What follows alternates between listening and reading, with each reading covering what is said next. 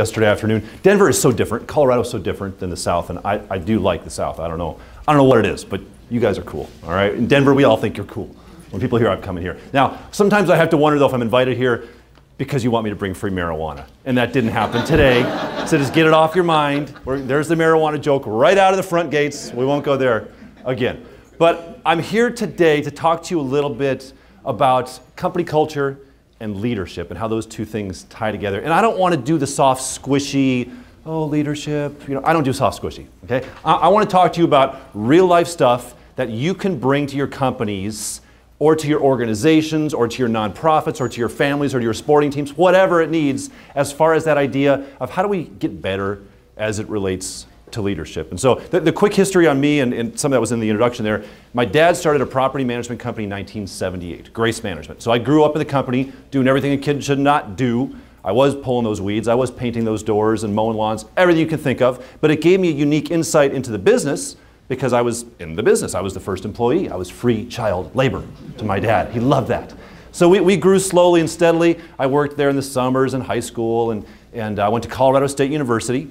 I studied finance and real estate. I moved to Cheyenne, Wyoming, of all places. Has anybody been to Cheyenne, Wyoming? Yeah. It's not the end of the world, but you can see it. You see it from Cheyenne. And I was, I was working in Cheyenne, hating what I was doing. My dad called me one day and said, I need to hire a property manager. The job's yours if you want it. So I jumped at that opportunity.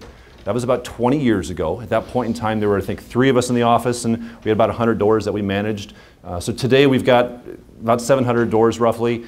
Uh, we do residential, we do commercial, we buy, we sell, we invest ourselves, we flip.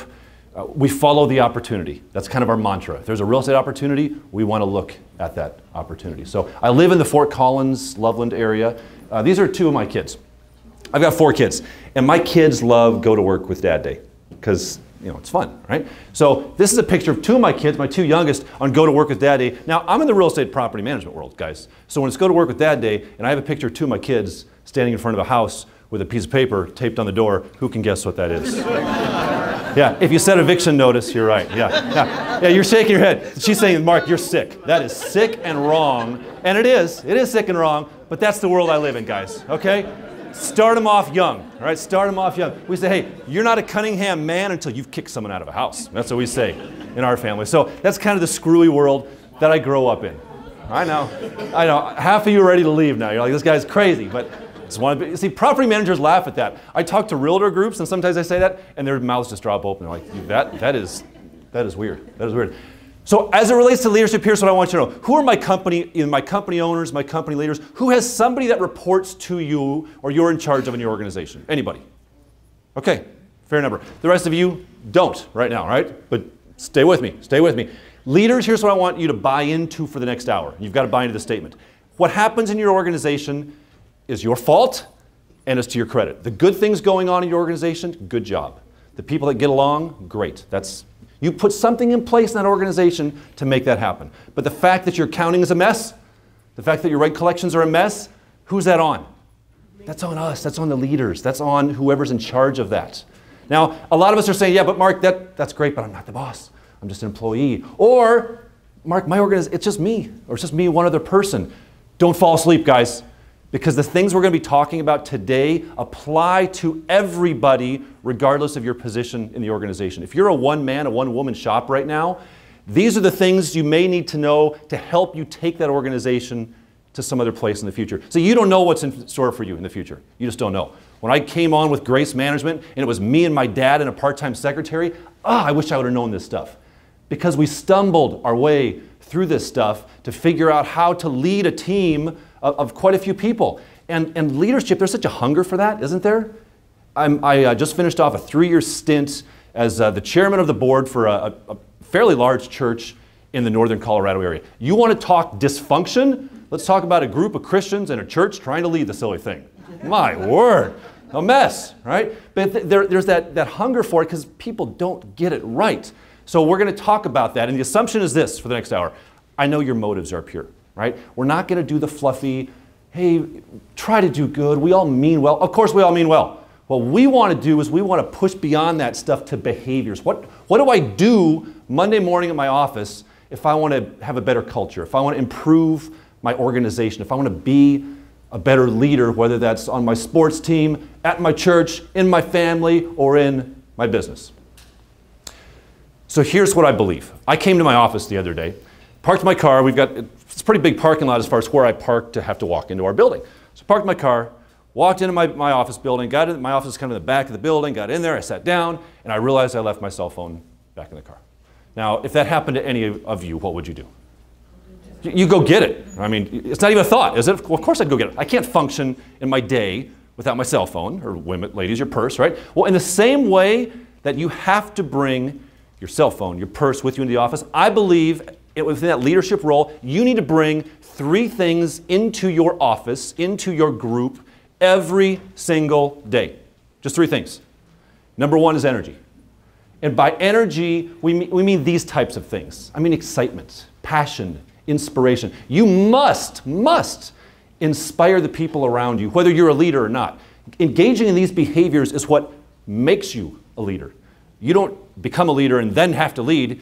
You become a leader because you have leadership traits. And one of the things leaders do is they inspire the people around them. Nobody is self inspired. Right? That idea of, gosh, I just want to hire a, uh, I, I, do some coaching, and what a person I'm coaching said, Mark, I just I want to find someone to hire who's self-motivated. Guys, there's no such thing as a self-motivated person. All, all a self-motivated person means is they don't get their motivation from you. That's all it means. Because we all get motivation from someplace, don't we? It just means, oh, well, they're not self-motivated. No, they just don't get inspired by you. They've got to find that somewhere, and you've got to attract these types of people. You've got to bring this stuff in some way, and we'll talk about how to do that specifically, shape, or form. Now, after you have energy, the second thing you need is clarity. Because a, a room full of energy is not a good thing. I coach two of my kids, three of my kids' basketball teams right now.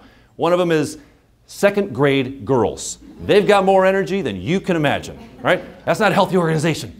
Second thing we want to bring is clarity to our organizations, to our groups, to our teams. And by clarity, we're looking at, at, this type of stuff clarity of everything. If I walked into your office right now, if you have a team member back at your office, and I said to them, let me ask you a question. How is it, Randy? Yes. Randy, how is it that what you do helps contribute to the overall success of the organization?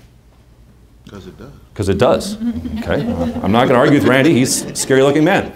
But we have to answer that question, don't we? Everybody has to know in your organization, on your team, how what they do contributes to winning, what their responsibilities are. That clarity is missing. There was a, a survey done not too long ago I read about, and they, they interviewed, I don't know what it was, 10,000 uh, employees of companies of all sizes and shapes and forms, and they asked them all sorts of questions to list what made them feel engaged in the workplace. And it was like a laundry list of 100 things. You know, more money, better working environment, opportunities for advancement, you know, rank them. And the number one highest rated comment by the employees said this. This is what makes them feel engaged. I know what is expected of me in the workplace. Is that interesting? They want to know what you expect of them. So we have to have that clarity. Now, After we have that, number three is accountability. Now, now energy we can like. Clarity we can like. Accountability, we, we kind of bristle at that, right? Ooh, accountability, I, really, I don't, I don't want to be accountable. For the purpose of this conversation, we're defining accountability as simply measuring and reporting on performance. We've got to do that in our organizations, guys. We've got to measure our performance. We've got to report on our performance. My, my nephew plays on a, I'm kind of a basketball junkie. My nephew plays on a basketball team. He's in second grade as well. But guess what? In his league, they don't keep score. I hate when they don't keep score. We need to keep score. And that's fine for second graders. I get it, I get it. But guys, we got to keep score. We need to start measuring and reporting on the performance of ourselves, of our organizations, of our businesses, or else we lose. So these are the things we're going to talk about. So what I want to do now is just kind of take a half step backwards, and, and I'm going to walk through some of the things just to share some very specific things we've done in our organization as it relates to trying to bring energy, to trying to bring clarity, to trying to bring accountability. Fair enough? Okay, who's she? Flojo. Flojo. Yeah, anybody over under 30 is right. What? I don't know. Is she in the Olympics right now? Jackie Joyner Kersee, right? Performed in the 1988 Olympics. And there's a great story with her, and her husband was her coach. She came home with a handful of medals, and she ran the 200 meter. And she was training before the Olympics and having a bad training day. Her 200 pace was off. And her coach, her husband, calls her over and says, Jackie, stop trying to run fast. Instead, focus on the things that make you fast. I thought, that, that's pretty good, isn't it? Because so many of us try to have a successful organization. We try to make more money. We try to be successful. When we take a step back and we get our focus off of that and we focus on the things that make us successful, that make us have a stronger culture that attracts people to our organization, that's where you win. That's what comes through. So, what, what, I want us to do for the course of today is not focus on being better, not focus on doing the stuff that we think is going to get us there, but let's look at the actual behaviors we need to do to take us to that next level. Isn't that a good analogy with the Olympics going on right now? You guys are just looking at me blank faced, all right? I thought that was pretty good. So let's talk about energy. How do you bring, you know, how do you do that? How do you bring energy to your, your organization? And whether your organization's one person or 20 people or 500 people, it does not matter. You still have to bring this. And if it's just you, it's even more important and it's even more hard because now you are your boss. But there's two ways you do it, I think. And the first is corporately, right? Bring it to the group. So if, if we're all one organization today, right? We all started a big property management company. Well, whoever's in charge better, better kind of set that vision and inspire us to some aspect of doing things. So one way to do that in a group setting, and if this were 10 years ago, right now we talk about a, a mission statement, right? Anybody heard about, you know, Anybody come from a company that preached their mission statement? Mm-hmm. Yeah, and we get it. I get the idea. And, and, and it can work. In our company, what we talk about on a regular basis is our purpose. It's kind of the modern day vi- version of a mission statement, right? Our purpose. Because at, at Grace Management, our purpose relates to starting with the why. If someone, if you're going to inspire someone, you need to tell them why. You need to answer this question for them. Why should I give you my energy? I've got family at home. I've got things going on in my personal life. I've got all this stuff over there. Why should I come to work, of all places, and, and give you passion, give you excitement? And you better have an answer to that. Because if you don't, you will find that you attract employees. We don't like employees, right? We want people that are team members. We want people to buy in. So, for example, when I we had our Christmas party at um, Grace Management, a few, I guess now a few weeks ago, and I, and I said this to them, guys, uh, and this is, our, this is our purpose statement at Grace Management, right? Improving the lives of real estate investors and residents through property management solutions. Now that could be a throwaway line, couldn't it? Put it up in the back of the break room and refer to it once a year. But, but I said, guys, at our Christmas party, I said, guys, you know, great job this year. I mean, we, we killed it. We did a great job. And I know it's, it's been a busy, tough year, but I want you guys to know that we have this on the board. You know, this is what we're doing every day, guys. We can't forget about this.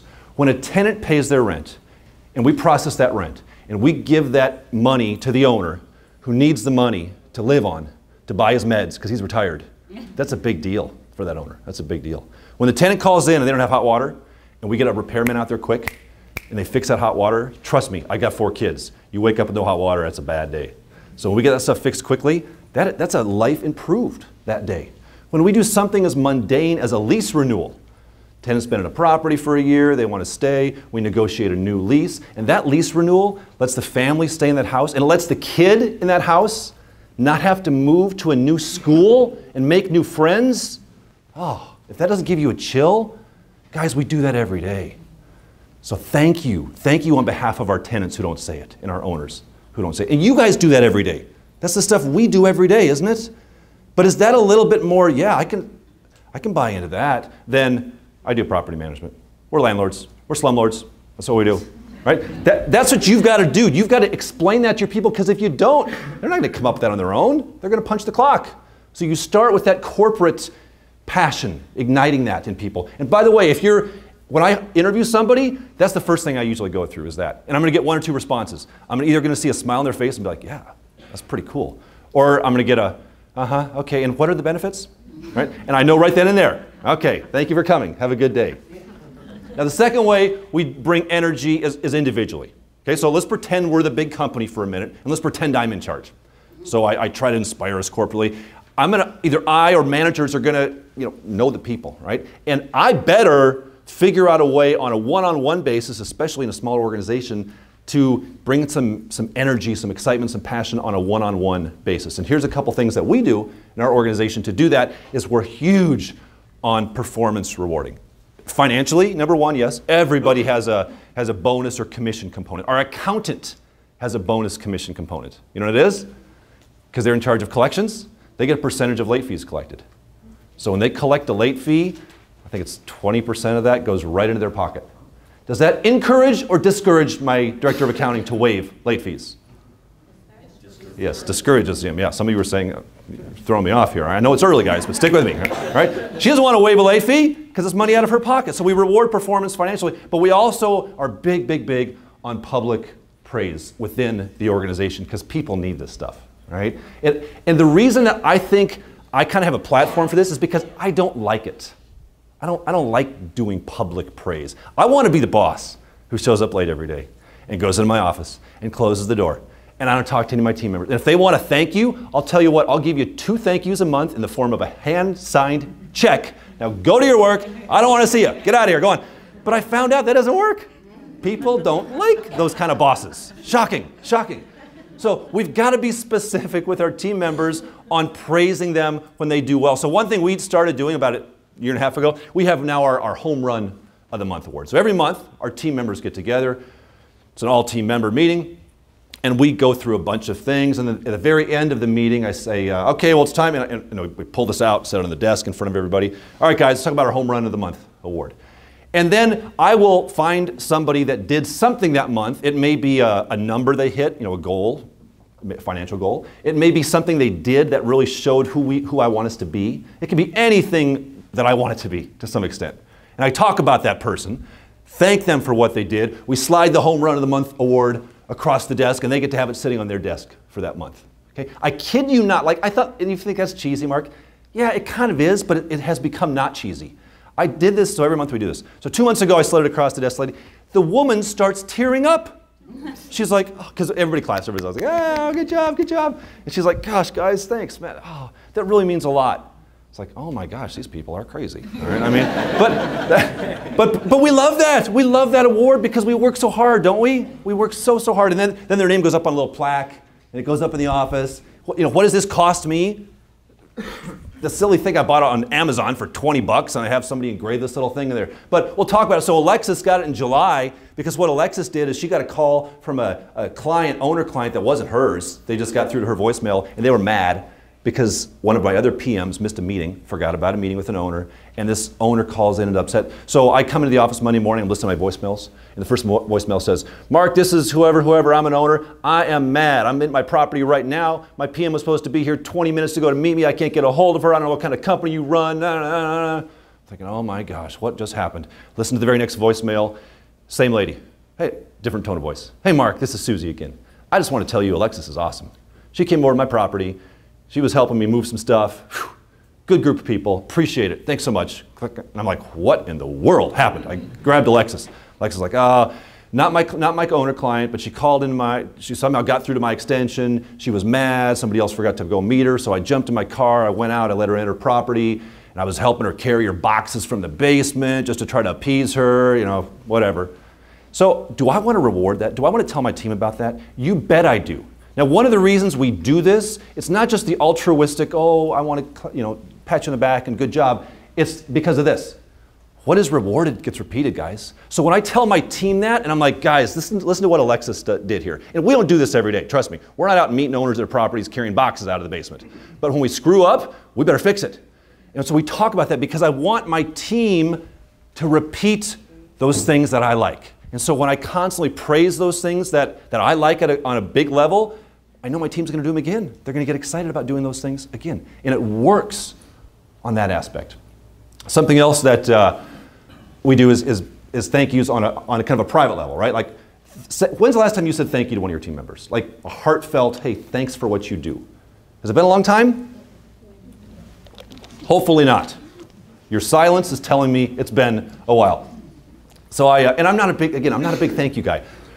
Not too long ago, was, it was Friday night. I got home. It's been a long week. It's been a long week for everybody at the office. We just, you know, just one of those crazy weeks. And uh, so I, was texting something. I thought, you know what? I'm going to text Holly. Holly's one of our newer property managers, and tell her she did a good job this week. She got, she had a new account. I think it was her first new account that week, and she'd been with us for a little while. And, and she's young. She's trying so hard, and she's doing a good job. But you know, she just doesn't have a lot of confidence. And so I texted her. This is what I said: "Great job, Holly. Super proud of you." I get this back from her. Thank you so much, Mark. Your approval means the world to me, really. And, and it does. Like, if you knew Holly, she's sincere. Right? And I thought, oh man, I, sh- I should have said that before. So now I get this bright idea. Huh, I'm gonna text somebody else. Now I had had about a glass and a half of wine at this point, all right? I wouldn't do this stuff without a glass and a half of wine, I mean, on a Friday night, all right? So I texted Daniel. Daniel was pretty new at Grace Management too, and Daniel's killing it. Daniel was my banker, and I stole Daniel away from the bank because he was so impressive. A young guy, and he's just, he's working hard, he's, he's going as fast as he can. I just texted him, I said, love having you at Grace Management, Daniel. Thank you, Mark. I appreciate that. I love working for Grace. Couldn't be happier. I came back with this because now I'm in a roll. Right? you don't work for Grace Management. You are Grace Management. Don't forget it. That's good. You got to give it up to me on that. That's pretty good, isn't it? Got it, he says. Right? Right?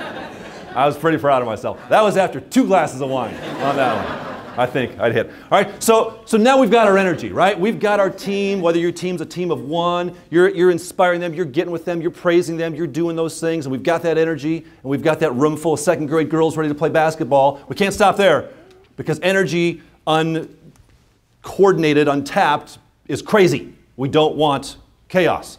So, how do we bring clarity to the organization?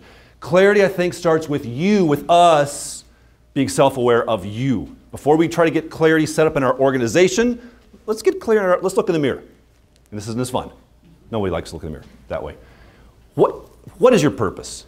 Whether you're the boss or not, I think our purpose in the organization is probably a little different than most of us think. And this was, this was eye opening to me when I grasped this concept. Now, when I'm talking to employers, like when I do this for, for um, bosses, this presentation, here's what I say I say, write this down. My purpose is to make and I say, take about 30 seconds and just like write in whatever you think your purpose is. Like, what do you think is going to come next? So people sit there and write down their stuff. And, and I say, this is your purpose, bosses. It's to make your team members successful at their positions. That's it. If you come into work every day as a boss with that mindset of my purpose, my purpose is to make my director of accounting the most successful accounting person in the state of Colorado. Make my leasing person the most successful director of leasing in the state of Colorado. That will revolutionize your business. It'll, it'll make you pour into them. It turns the table so that you don't think they're, they're here to serve me. No, no, no, no. That's not, that's not how this thing works. My job is to make them successful. Not happy. My job's not to make them happy. My job's not to make them enjoy everything. My job's to make them successful. Because if I could get a group of the most successful people in the state, maybe, in my organization, what would that do to my organization? That would propel us to places we've never been. And, and so this has been our focus. And it, this has worked well for us, guys. This has worked really, really well over the course of time. It doesn't happen overnight. It's not like you flip a switch and all of a sudden it's there. But this, this is a path to be on. So, and if you're not an employer, I still think this is your job. If you're an employee, guess what? You're, if you go into this mindset of your job is to make your boss successful, you will be invaluable to that organization. If you try to make your fellow employees successful at what they do, you will be invaluable. That's how you move up in an organization. Second question to ask yourself is this How am I perceived by others? Not how do I want to be perceived, not how do I think I am perceived, but how, are, how do others perceive you? If I went into your office and asked one of your employees, what do, what do you think of that person? Do you know how they would respond? You have to ask yourself that, that hard, hard question. One of my um, team members, this is a while back, she said, uh, well, she actually said this as I was firing her you know, Mark, you're, you're, you're not very approachable. And I'm in the midst of firing her, so whatever. Get out of here. Approach out the door. All right, all right. And then about two months later, another one of my team members, like my, a trusted team member, you know, we're having a conversation on this and that. And she goes, you know, yeah, some, sometimes you can be a little bit unapproachable. So now I'm thinking, huh, I, I never realized I was unapproachable. I better, I better be aware of that. I don't even need to necessarily change it, but I better be aware of that fact so that it doesn't negatively impact the organization. You've got to know those things about yourself to know what other people say on your weaknesses are. Second question for bosses, especially, and well, everybody, using those words wisely. See, guys, if you're the leader, you've got one of these things on all the time. Because when you say something to one of your team members, they don't hear a good job. They hear a, hey, great job. And when you say, oh, you really screwed that up, you really screwed that up. Right? You've got a megaphone all the time as the boss. And we forget that we have that megaphone. We've got to remember that and be cautious and careful on our praise and especially on our corrective measures with our people. And using your power wisely as the employer as well. So I believe all employers have an invisible sign around their neck that, that other employers can't see. And the sign says, I'm your boss, and I could fire you. And every time you talk to one of your employees, they're not looking at you, they're looking at the sign on your neck.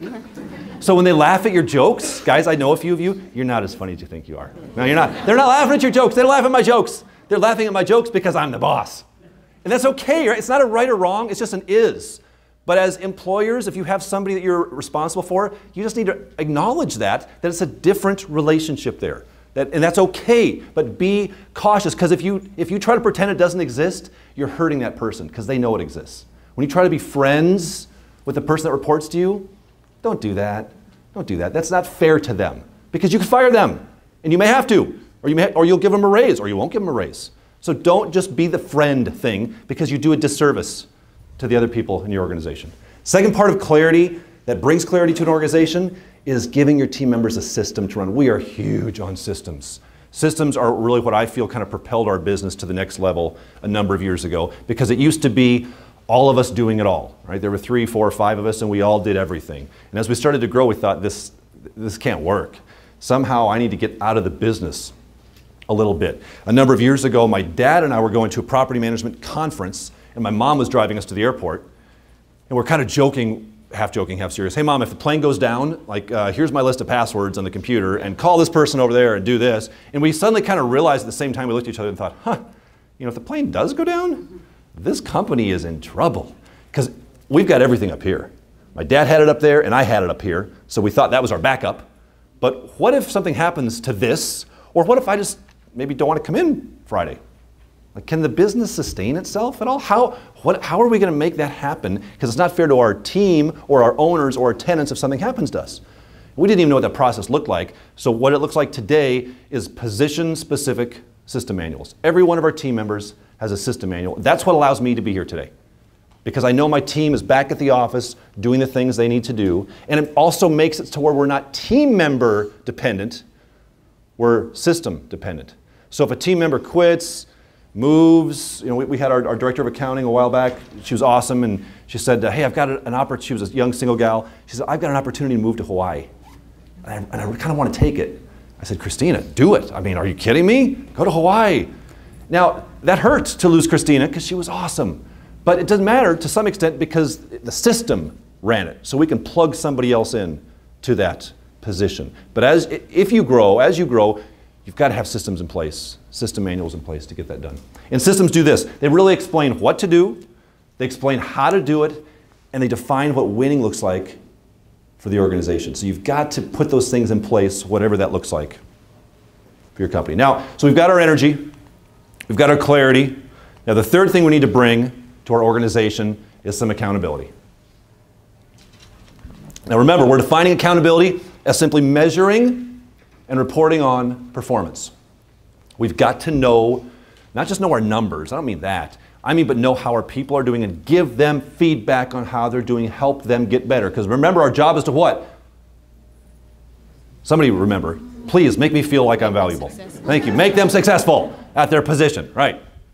So, one way to, to do that is to create, what we call them measures of success, for every task a person does. So this kind of ties into the system manual, right? If somebody has a system manual and it says, hey, here's your eight, nine, ten things to do. These are the main things you are responsible for. And people need to know this. Everybody should have this. Think of, it, think of this as like a job description on steroids. Okay? This is what you do, this is how you do it, and we're going to tie a very specific measure of success to that thing you do. So for example, our, one of our property, our property managers have eight KRAs, we call them our key result areas, the main things. It's like tenant relations, owner relations, security deposit returns, bring on new accounts, handle maintenance. For every one of those things, there's a, a measurable measure of success. So for uh, maintenance requests, it is have all maintenance requests off to the vendor within 24 hours of receipt.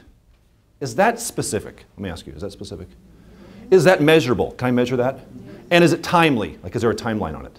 Yeah. So I can know, and they can know if they're doing a good job with that or not. I tell our new hires, guys, guys, you will never have to wonder if you're doing a good job or not. You'll never have to wonder, gosh, does the boss think I'm doing well or not? Why? Because it's all laid out right here. You know if you're doing a good job before I do it. As a matter of fact, you're going to report to me on how you're doing based upon your measures of success, because this is going to tell you what winning looks like.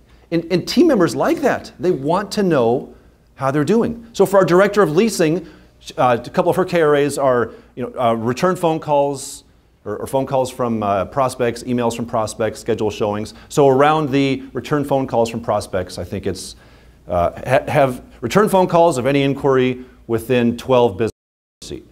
So again, it's specific, it's measurable, and it's timely. And, and it's, it's either like you did it or you didn't.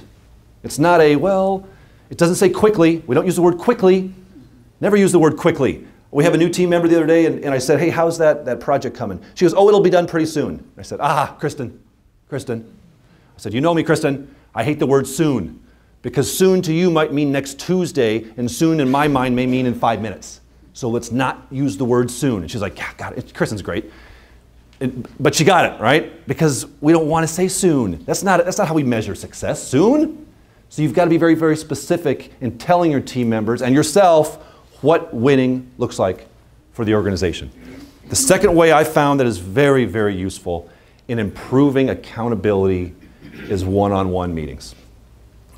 Guys, if you're not doing this, if you come away with one thing today, please make it this. Start having one on one, and I'll tell you what they look like here in just a minute, monthly meetings with the team members in your office, with the people that report to you. If you're in a huge organization, then this should be like a spider web down where you've got the people under you, the bosses under you reporting, and they've got the people under them reporting up. And if you've got a team of, of six people, and you're the boss, quote unquote, every one of those should have a one on one meeting with you. This is so valuable. We do this every Wednesday. I do this with all the property managers. So I'm, I'm the president of our organization. And somebody asked me earlier, so, so Mark, what exactly is it that you do? Well, I don't quite know, but I get paid a lot of money to do it, so don't ask. But what I do, so I'm the president of the organization, but one of my tasks is all the PMs report directly to me. I'm the boss for the property managers. And every Wednesday, full day Wednesday, nothing is on my schedule except one on one meetings with my PMs. And each of them are 20 minutes.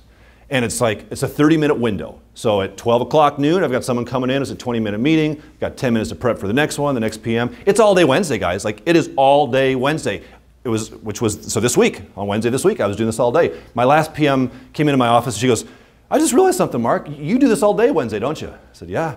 She goes, Because I, you know, I came in early this morning, I saw your car was in the lot. I went to lunch, I saw your car was in the lot. I came back. She goes, Do you even eat on Wednesdays? I, I, opened my drawer and I pulled out a little power bar. I was like, This is my 15 minute power snack between meetings. And she goes, Wow, that, that's a busy day for you. And, and it is a busy day for me. It takes me all day. It is my all day Wednesday. But this is what I said to her. I said, Yeah, it's a busy day for me. But you know what? I said, I think this is the most valuable day of the week for me because it gives me an opportunity to, number one, have my finger on the pulse know what's going on, and to have a one on one with every one of my PMs.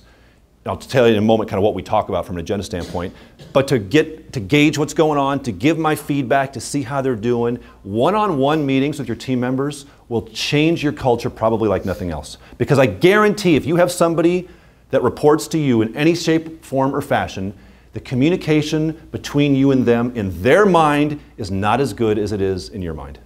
That's just the nature of being the boss. You think you communicate effectively. You probably don't, at least not as well as you think you do. You think they, they can read your mind. No, they can't. This is a way for them to do that. So here's, here's a couple purposes of the one on one meeting. Number one, part of this is to build that relationship, guys, to build that trusting relationship. If they don't trust you as a boss, things are not going to go well. Things are just absolutely not going to go well. So, uh, one of the purposes of having weekly, and it is weekly, one on one meetings is, is, to establish that relationship of trust that they know they can come to you with their issues. Number two, is to improve the system. It's not just about them, this is not a touchy feely meeting. The basis of this meeting is our system manual. So we're going to spend some time going through the system manual to number one, ensure they're doing it the way the system manual says. Number two, is the system manual correct? And number three, how can we do it better? This is the opportunity for us to have a conversation, for them to say something like, Mark, you know, I know as we're going through this particular KRA on leasing, it says to do this, this, this, and this, but I think I found a more efficient way to do it. What if we did this, this, this, and this? And I'll either say, yeah, that's awesome. Let's, let's update it. Let's change it. We just made an improvement.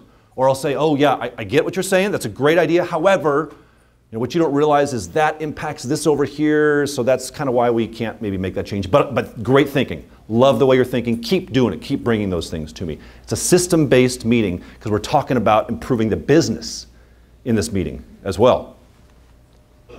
And the third purpose is to give candid feedback. People want feedback, guys. Now, I would caution you if you're going to start doing these things, hold off on the negative feedback for a few weeks. Okay? We're all good at giving our corrective feedback. But for, I'm, uh, was talking to a guy the other day, and he's starting to do this with this company. And he's like, okay, Mark, this, here's my, he's telling me his agenda. This is my agenda for my first one-on-one. He's a little nervous. I got my first one-on-one meeting coming up, and I'm going to talk about this. And, and I, got, I have my list of feedback items for the person. It's like, all right, well, what's your list? Well, I'm going to tell them they're, they're not, I don't like their tone of voice on the phone. I'm going to tell them that they're coming in a little bit late.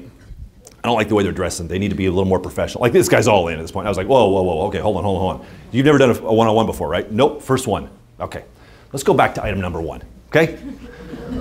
Build a trusting relationship. If you suddenly come in, they're not going to see this as a meeting as a way to improve the system. They're going to see this as a meeting in a way for you to beat them up.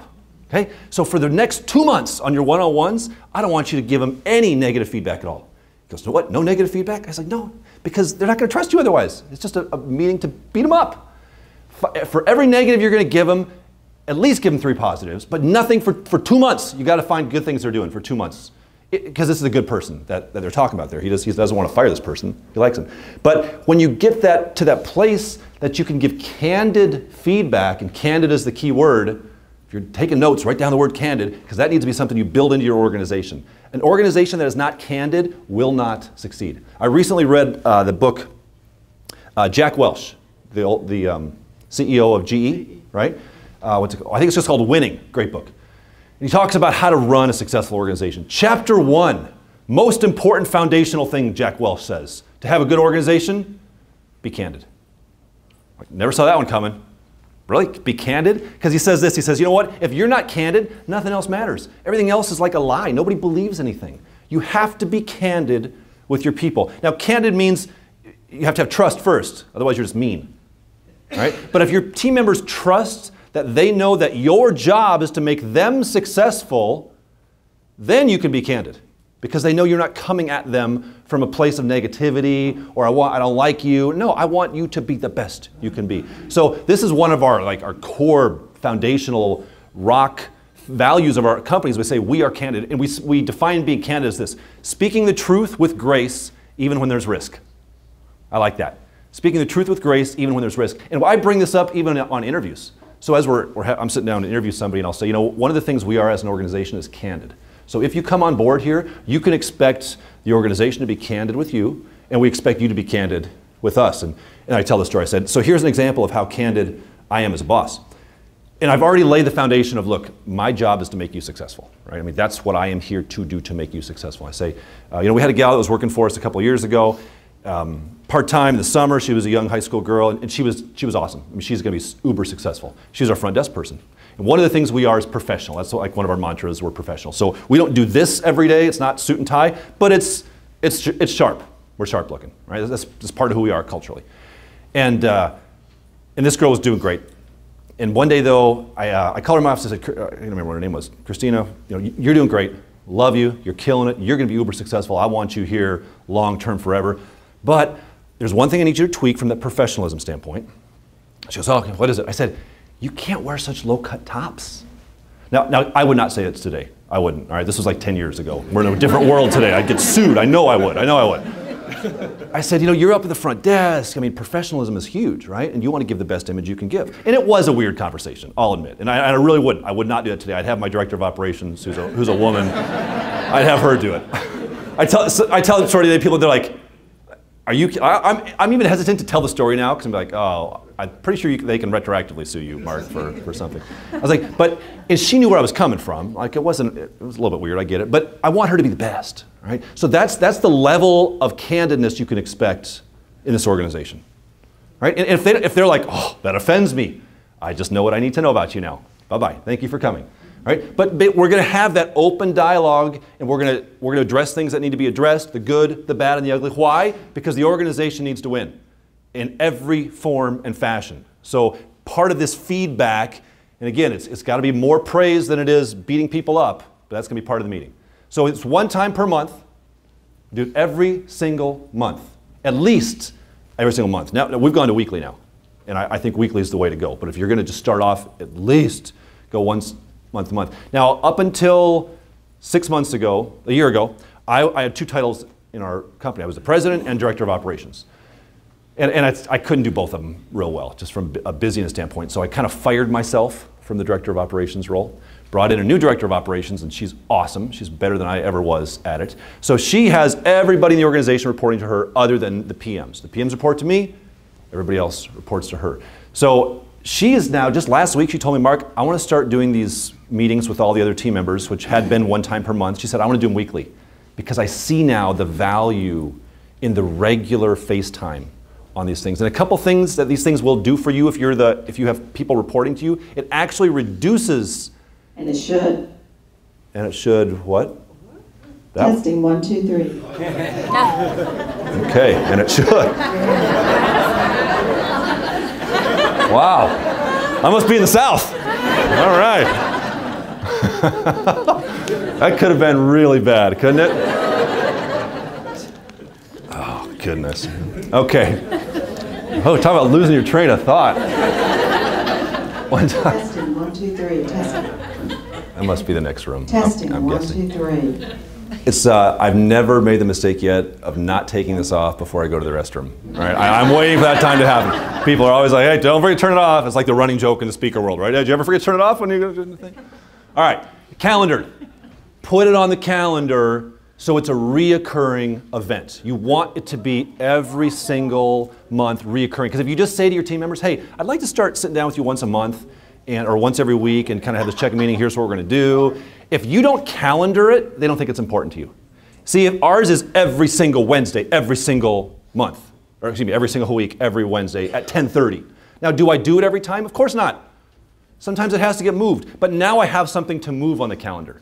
Because if it turns into a, hey, when I have, when we both have some time, let's sit down and go some, through some things. What is your direct going to say? First of all, okay, boss, whatever you say. And then you're going to go to them and say, hey, uh, how about about 15 minutes from now? I'm, I'm free. Okay, sure. They've had no time to prepare for it, and they, see, it's not valuable to, to them in your eyes, right? But if it's on the calendar and it's reoccurring, that means something different to them. So we calendar these things. They're 30 to 60 minutes in length. Ours are down to 30 at this point in time, right? But it's going to be 30 minutes. Typically now with my PMs, it's actually like a 20 minute meeting. And our agenda, first 10 minutes is their time. So what that means is I'm going to go whatever direction they want to go in because part of this is about building that relationship, right? Without a relationship, guys, you don't know your people. You just don't know them, and you need to know your people. That's part of the energy side of things. That's part of the ins- inspiration, inspiring them is know your people, know what makes them tick. So I start our meetings off. I'm going to jump ahead here with this, with this question, and I've tweaked this and played with this over the years. And I, and this is it. Like this is this is the way it needs to be. Asking this question. So tell me about your week. I don't say how's your week going because if I say to you how's your week going, what do you say to me? Fine, good. Okay, well, let's shut down that conversation. But if I say to you, so tell me about your week. Now I've just kind of opened the door for you to go wherever you want to go. So my team members are going to go into. They might go into their personal life. I, they might go into the crazy, difficult situation they're dealing with. You know, one of my team members is like, oh, have I having a rough week? That's what she said. My dog bit my cat's face off yesterday. now, I, what I wanted to say is, well, you know what? Your cat probably had it coming, all right? Because I don't like cats. I didn't say that. I held back, and I was like, oh, really? Ugh, that sounds awful. And she was like, yeah. And she's a cat person. She like starts tearing up. She's like, oh, it's terrible. I had to take her to the vet. And, uh, oh, that sounds terrible. That's not, what, that's not me. That's not what I do. But I, but I care about my people, right? If it matters to her, it matters to me. So I'm talking about Fluffy, the cat, for 10 minutes.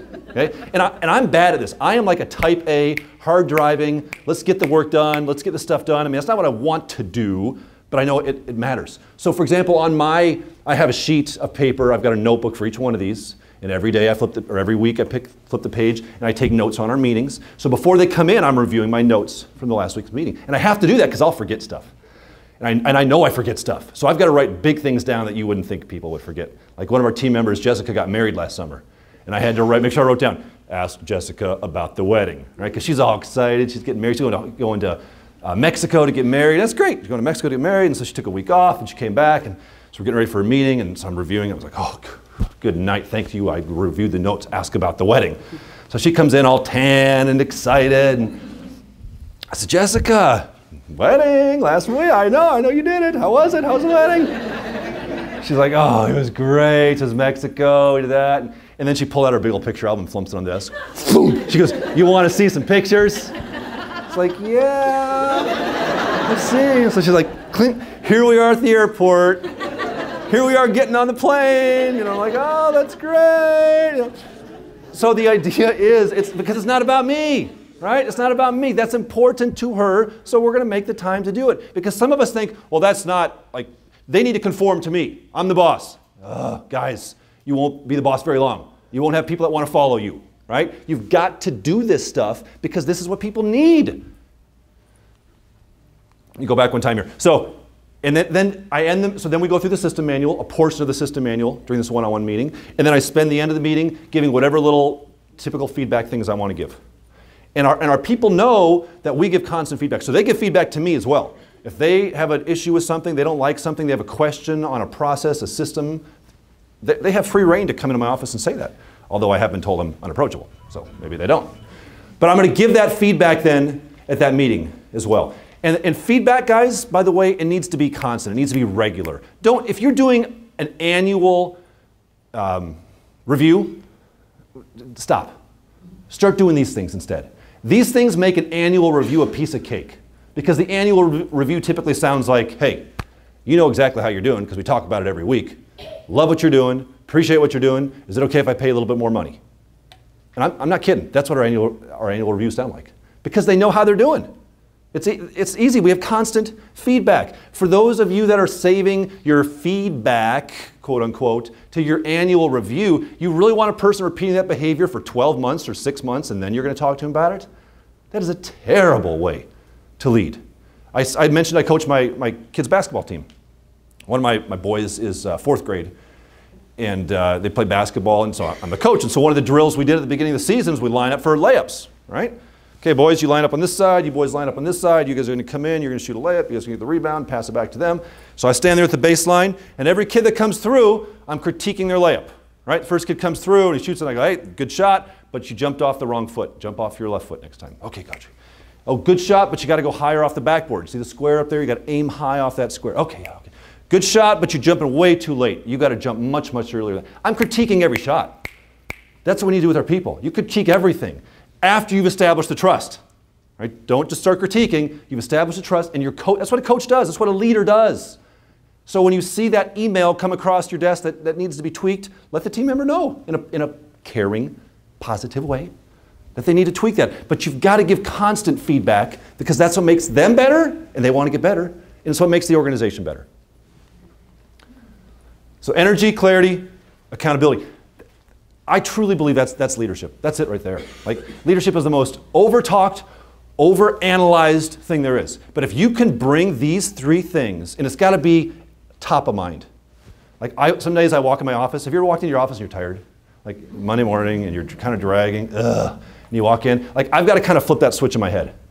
Because I know if I don't, it negatively impacts my team, my group.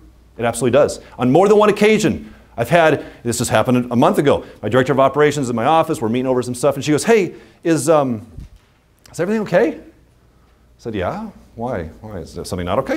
She's like, No, no, I don't know. She goes, Just, you, this is what she said. Just seems like you've been kind of blah lately. Blah? blah? I was like, Really? She goes, Yeah, yeah, I don't know. Just want to make sure everything is okay. So, guys, their radar's up, isn't it? When, when you as a leader, if there's something that you're not focusing on or giving your energy to, people pick that up. And they don't like it. It scares them. Because our job as the leader is to bring that. And if you're not bringing it, it freaks people out. People don't like that. You've got to bring that. So sometimes when you walk in that office Monday morning and you're feeling tired, leave it in your car. Leave the tiredness in your car. Bring that energy. Bring that passion, bring that excitement, bring that clarity of everything that goes on in your office, and you bring that accountability. And what you're trying to do is get to the place where those things come together. If you're only an office of energy, ugh, God help you. It will be awful, right? It'll be terrible. If you've only got accountability, that means you're a micromanager. If you've only got clarity, it just probably means you're an accountant.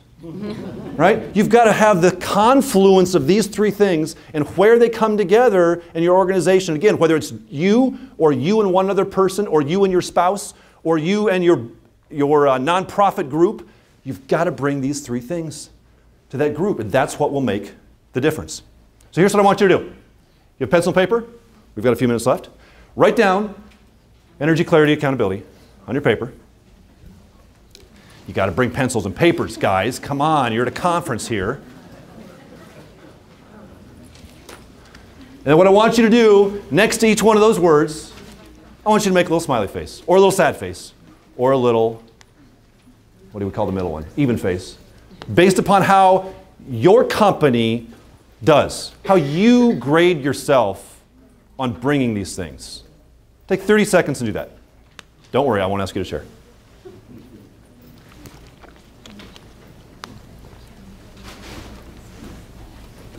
Do you think you're doing a good job? Do you need to improve on it? And remember, these things are not, it's not a destination. You don't arrive, you never achieve them. It's a constant struggle, it's a constant path you're on. You're always trying to get better at it. You're always trying to improve at it. So if you're a one right now, if you kind of get like on a one to 10 scale, you're like, oh, Mark, we're so terrible, that's okay. Going from a one to a two, guys, that's a 100% increase. Let's be positive, right? So that makes a big deal. Start on that path, start on that journey because I promise you, you don't know where this stuff can take you. If you just start engaging in this, even if it feels fake, and by the way, it will, it will feel fake. All right, it'll feel totally fake. If you're like me, it totally feels fake at times. But the more you engage in it, the more real it becomes, and the more you see the impact of those things going on out there. A lot of what we do feels fake. When I, we give this, uh, this talk on a bigger scale, sometimes like a full day thing, and one of the things we talk about is the, uh, um, the perception of uh, being inauthentic with this stuff, right? Because people are like, Mark, that's, that, that's fine. Maybe that's you, but that's not me. That, that would be fake for me. That would be inauthentic. I say, okay, let's talk about that for a little bit. Do you ever feel inauthentic when you work out? I feel inauthentic the first half mile of every time I run. I'm just faking it. I'm going through the motions. I don't care. It's not about authenticity, guys. It's about doing what needs to be done to get the results you need to achieve. This will get you the results you need, and this will improve the way you're doing leadership.